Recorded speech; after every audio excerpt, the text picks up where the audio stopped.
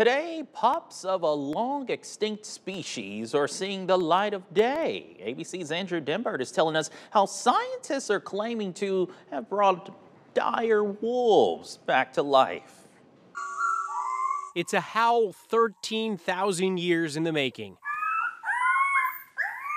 dire wolves walking the earth for the first time since the Stone Age, thanks to a remarkable scientific breakthrough. The dire wolf is the first de-extinct species. Until recently, the only way to catch a glimpse of the bygone beast was to watch Game of Thrones. The dire wolf is a sigil of your house. They were meant to have them.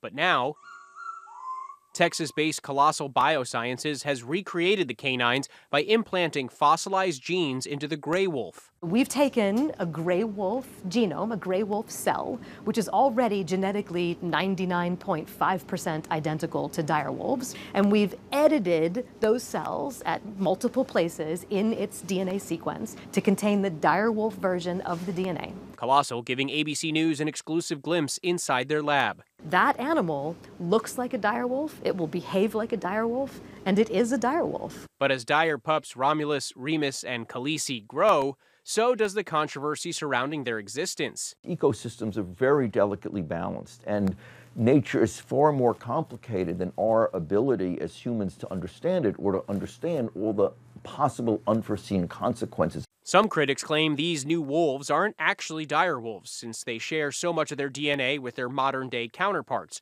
while others are concerned that de extinction efforts could have unforeseen or even deadly consequences. The bottom line is a lot of the genome we still do not understand. And so one wants to be careful if you're mucking around with genes that there may be things we don't understand. You may produce a wolf that's twice as ferocious. Andrew Dymburt, ABC News, New York.